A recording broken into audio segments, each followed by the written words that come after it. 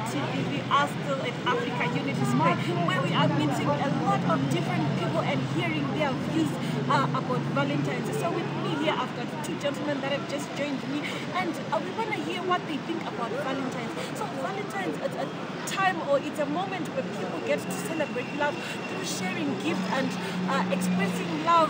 I don't really know how best I can explain it, but it's that time where people just get to show love. So I don't they have to say. So we want to get to hear what they have to say about Valentine's.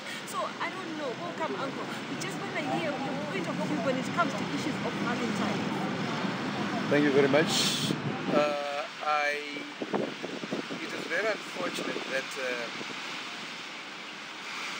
the whole idea of celebrating love and giving gifts occurs once a year or maybe twice a year.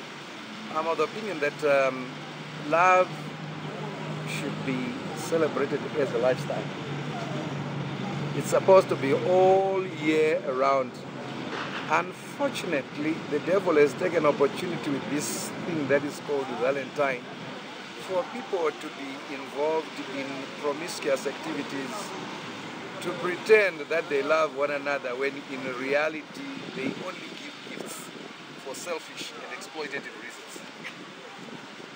I'm of the opinion that um, love should be sincere, should be genuine, and like one author says, love is a plant of heavenly origin. It must germinate, must be allowed to grow, it must be nurtured. It shouldn't be triggered by the 14th of February. Love is supposed to be an all year round thing, and genuine love is based on one's faith in God. So it's this vertical relationship with God, then the horizontal relationship with one another then comes into play. As far as families are concerned, gifts should be given all year round. One should not remember to give a gift to his wife, to a husband, just because this thing that is externally imposed as it were has come around the year. No, it should be a way of life, and right throughout the year, people should be celebrating love.